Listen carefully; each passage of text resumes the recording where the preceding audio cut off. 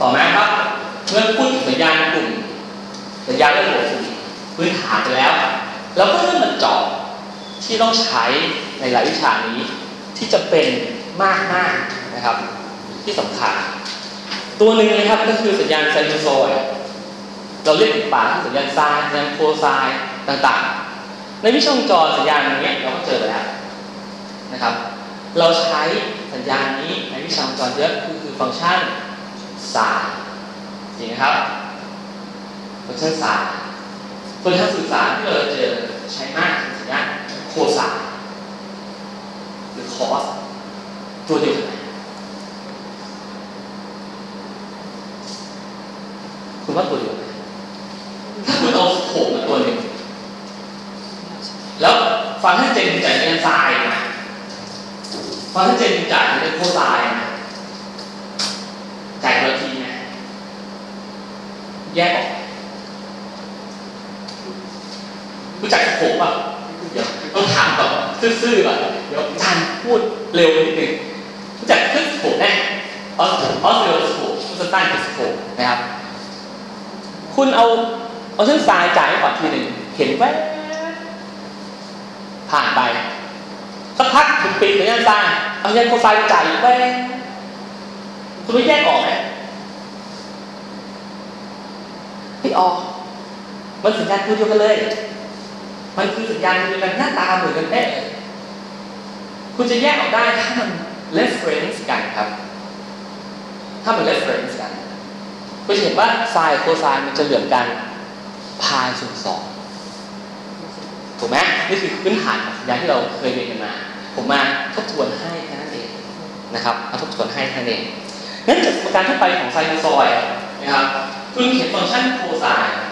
คุณสามารถเขียนรูปนี้ให้เป็นยันไซน์ นะครับก็คือมีการบวกลบในส่วนของมุมเซตานั่นเองนะครับมุมเซตานั่นเองโอเคไหมครับมุมเซต้าคือมุมเหลื่อมตรงนี้อะนอกจากมุมเหลื่อมตรงนั้นถือเป็นตัวบอกว่าเป็นสัญญาณไซน์หรือโคไซน์จากฟังก์ชันนี้แล้ว ตัวไหนอีกที่เราสนใจก็คือตัวโอเมก้าเนาะโอเมก้าก็คือความถี่เชิงมุม เขียนให้เป็นความถี่ แล้วเขียนในรูปของ2พาย f ถ้า f มากหรือโอเมก้ามากถูกไหมครับกับรูปขึ้นนี้คือเขียนรูปขึ้นนี้จะมีความถี่มากขึ้นจำนวนลูกสัญญาณมากขึ้นในค่าเวลาทีเช่นถ้าผมให้มีค่าเท่ากับ 2 โอเมก้าหน่อยตรงนี้ครับเพิ่ม 2 เข้าไป ลูกคลื่นที่เกิดขึ้นในช่วงเวลาที่เรียทีก็จะมี 2 ลูก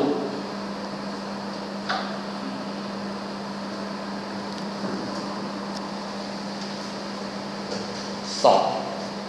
เห็นไหมครับ ถ้ามีแค่ หนึ่งถึงสองล่ะ ลูกคลื่นก็จะมีแค่ครึ่งลูก อันนี้ทบทวนนะครับทบทวนนะครับ เราใช้บ่อยไม่อยากพลาอีกตัวแปรหนึ่งล่ะ v หน่อพูดถึงขนาดมันนะครับ ขนาดมัน ถ้า v มากขนาดตรงนี้ก็จะมาก ถ้า v น้อยขนาดตรงนี้ก็จะน้อยตามไปนะครับ อันนี้คือสัญญาณที่เราเจอบ่อยๆซันดูซอย ตัวกลางที่เราเขียนก็อยู่ตรงนี้ อีกนิดนึงไม่อยากให้ข้ามไป คุณสังเกตไหมครับว่า ผมเขียนแรงดันมีทั้งดีเล็กและดีใหญ่ต่างกันเราเคยพูดตรงนี้กันทีแล้วทบทวนครั้งหนึ่ง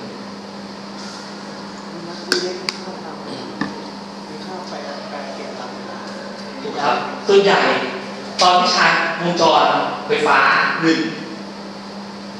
คุณเขียน วงจร DC คุณจะไม่เคยใช้ V เล็กเลยใช่ไหมสังเกตครับ คุณใช้ V ใหญ่ตลอด V ใหญ่ I ใหญ่ จากนั้นคุณเริ่มมาเขียนวงจรกระแสสลับคุณเริ่มใช้สัญญาณ V เล็ก ไม่ใช่ V เล็กเฉยๆครับบางครั้ง V เล็กวงเล็กด้วย T ไอ้ V เล็กด้วย T นี่คืออะไรครับเป็นตัวบ่งชี้ชัดๆนะครับว่าสัญญาณแรงดัน V แปลตามฟังก์ชันของเวลา เวลาเปลี่ยนขนาดแรงดันเปลี่ยนจำไว้เลยนะครับนี้ผมทบทวนเพราะว่าไม่อยากให้พลาดกัน ที่ที่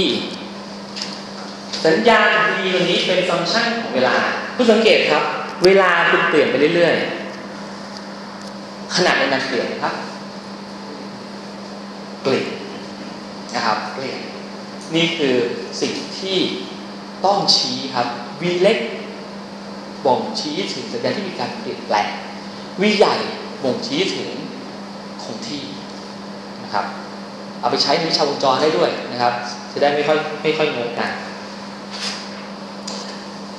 อ่าตอนนี้น่าสนใจอันหนึ่งครับ สัญญาณถ้ามีฟังก์ชันเดียว เช่นผมปิด มมติผมปิดอันนี้ มีแค่มีนอนขอสวยกำหนดทีคุณนึกออก ว่ามันคือรูปสีเงินผมปิดตัวนี้ วินาทีสามคอสามวินาที คุณนึกออกครับ ว่ามันต้องมีขนาดน้อยกว่าตัวหน้าสามเท่า มีความถี่มากกว่าตัวหน้าสามเท่าเช่นเดียวกัน ถูกไหม และ ก็ถือว่าเฟสมันต่ำเพราะฉะนั้นคุณได้รูปสีแดงไปทางนี้นะคำถามผมก็คือว่า แล้วถ้าเอาสองอันรวมกัน หน้าตาขึ้นจะเป็นยังไงถ้าเราไปวาดรูปถ้าเราไปวาดรูปมีสองอันหน้าตาขึ้นเป็นยังไงคุณจะนึกไม่ออกจริงไหม ดังนั้น นอกเหนือจากสมการที่เราเขียนแล้วเนี่ยรูปอาจจะช่วยบางอย่างได้ในทางโดเมนคุณก็เอาทุกจุดนะครับการรูปกดลงสัญญาณนะครับคุณเอาทุกจุดนะครับน้ำเงินแดงลงกันเป็นสีดำทุกเสี้ยววินาทีเลยครับเก่งนะน้ำเงินจะแดงลงกันเป็นสีดำนั้นสิ่งที่คุณได้ออกมาคือสัญญาณที่รวมกันใน time domain คำนี้ใหม่นะครับ time domain มารวมกันที่จะเป็นเส้นสีดำช่วยอะไรเราครับ ช่วยเราเห็นเข้าใจภาพได้ง่ายขึ้นมากกว่าเป็นทางสมการเฉยๆนะครับ และบ่งชี้อย่างนะครับ สัญญาณสองตัวถ้าเกิดขึ้นในเวลาเดียวกัน คุณจะไม่สามารถมีตาทิพย์แยกเป็นสองตัวได้นะครับบอกอีกครั้งหนึ่งย้ำอีกครั้งหนึ่งสัญญาณสองตัว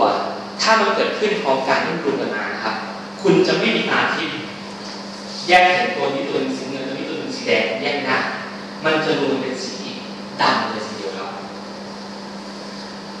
ตรงนี้ส่งผลอะไรกับเราจำที่ผมเคยเล่าไหมครับสัญญาณเสียงพูดกคนมันที่ที่ดีไป เรารู้ เสียงพูดไม่เกิน 3K กว่า3,000กว่าเฮิร์ตแต่ถามว่าข้างในอะมันมีองค์ประกอบความถี่อะไรบ้างคุณไม่เห็นนะครับเพราะผมว่าอ่านนะครับมีองค์ประกอบความถี่เยอะเลยดังนั้นผมเขียนแกนสามแกนอีกครั้งหนึ่งสำหรับคนที่อาจจะไม่มาครั้งแรกนะครับ ผมบอกได้ว่าเรามีสัญญาณที่อยู่ใน time domain หนึ่งละมีสัญญาณที่อยู่ใน frequency domain อันหนึ่งสัญญาณ time ด้วย frequency คุณจะเห็นได้จากแกนสามแกนนี้ครับตัวยุตัวอย่างที่ห้าต้องย้ำอีกครั้งหนึ่งว่าเดี๋ยวเราจะใช้ตรงนี้ในหัวข้อของ Fourier ครั้งหนึ่งตรงนี้ผมให้เป็นแกนเวลานี่ให้เป็นแกนความถี่นี่ให้เป็นแกนขนาด เส้นสีน้ำเงินนะครับ ผมทำเหมือนวางเชือกไว้หน้าห้องตอนเราเรียนฟิสิกส์มัธยมผมแกว่งเชือก ขึ้นลงขึ้นลง คุณโนมาเห็นไหมครับ เห็นเชือกแกว่งเป็นเส้นสีเงินใช่ไหมสิ่งที่คุณได้คือผมคนแกว่งเป็นอะไรผมเห็นแท่งเป็นเส้นนะแกว่งนี่คุยเป็นแท่งนั่นนี่คือผมเห็น อันนี้คือสิ่งที่เห็นถูกไหมครับ คุณ อยู่มุมหนึ่งมามอมาเห็นการแกว่งเส้นผมเห็นเป็นแท่งถ้าผมแกว่งเร็วขึ้น ผมแกว่งเร็วขึ้นแกว่งเส้นสีแดง คุณก็จะเห็นเส้นเขียนให้ตรงตามนั้นนะครับ คุณจะเห็นว่าเส้นมันแกว่งเร็วขึ้นเห็นไหมผมล่ะ ผมก็จะเห็นเป็นแท่งถ้าเขียนแอสซิดก็ได้ผมก็เห็นแท่งตรง นี้ครับ เป็นมุมที่ทำให้คุณแยกระหว่างโลกของทางกับฟิวซี่ตรงนี้ออกนิดนึงถ้าสองเส้นนี้มันเกิดพร้อมกัน มันเกิดพร้อมกัน คุณไม่สามารถเห็นสองเส้นนี้แยกกันครับ มันจะกลายเป็นสีดำเป็นการมีข้อสัญญาณคุณจะไม่รู้ว่ามีองค์ประกอบอะไรบ้างจนกว่าคุณจะขยับตัวแล้วต้องมองอีกมุมหนึ่งมุมที่เป็นสเปกตรัมหรือฟิวซี่ตรงนี้ ส่วนอีกครั้งครับเส้นสีดำเส้นนั้น คุณเห็นใน time domain สองอันนี้รวมกัน แต่คุณจะมาเห็นทีหนึ่งก็เป็นสองความถี่ต่อเมื่อคุณมองเข้ามาใน frequency domain คุณเห็นสองสเปกตรัมตรงนี้เดี๋ยวเราจะขยายความครั้งหนึ่ง ตอนเรียนเรื่อง Fourier series Fourier transformจะมีการเปลี่ยนสัญญาณในทางโดเมนให้อยู่ในฟรีซี่โดเมนเปลี่ยนเพื่ออะไร เพื่อให้เห็นว่าสัญญาณที่เราต้องการจะรู้เนี่ย มันมีสเปกตรัมอะไรอยู่บ้างแท่งไหมครับเหมือนที่ผมยกตัวอย่างเสียงพูด มีสเปกตรัมอยู่ในช่วงไม่เกิน 3K กว่ากว่าสิ่งดนตรีที่ผมเคยให้ดูในสไลด์ มีความถี่สเปกตรัมเกิดขึ้น 15-20K หน้าตาสัญญาณทางมันคล้ายกันเลยแต่ถ้าเกิดเราไม่มองสเปกตรัมที่เกิดขึ้น การที่เราจะส่งมันไปในช่องทางสัญญาณมันก็จะทำได้ไม่ดี นะครับในเรื่องสัญญาณกลุ่มนี้จะมาลงในเทอมอีกครั้งหนึ่งตอนหัวข้อของ Fourier Series Fourier Transform นะครับ อันนี้อีกอันหนึ่งที่อยากจะยกให้คุณเห็น สัญญาณ sinusoid ที่ถูกรวม harmonic เข้าไปเรื่อยๆ จะปรากฏเป็น square wave ถ้าผม บอกพวกนี้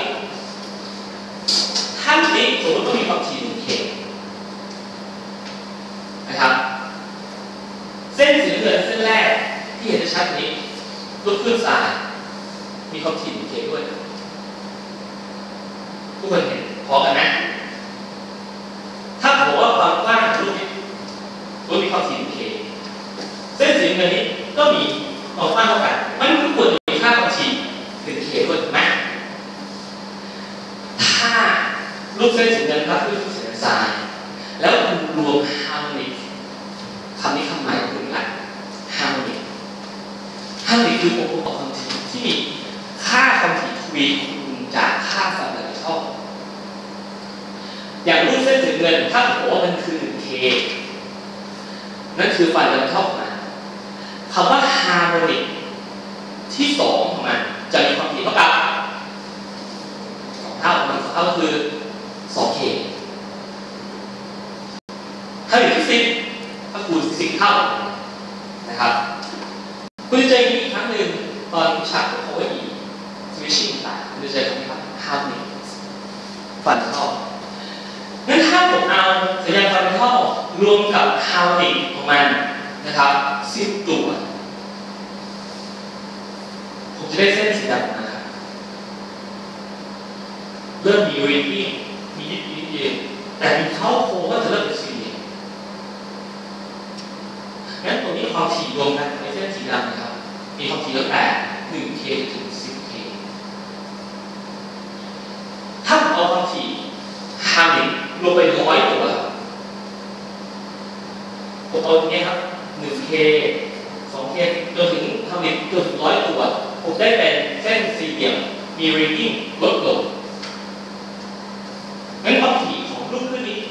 ก็คือเย่น้อยครับสายตาเข้าหนึ่งเคหนึ่งร้อยเคผมรวมหนึ่งพันตัว เริ่มเหลี่ยมมากขึ้น ผมรวมหนึ่งหมื่นตัว เริ่มเหลี่ยมให้เห็นชัดเจนเป็นรูปพันสี่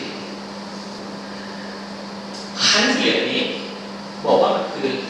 ความถี่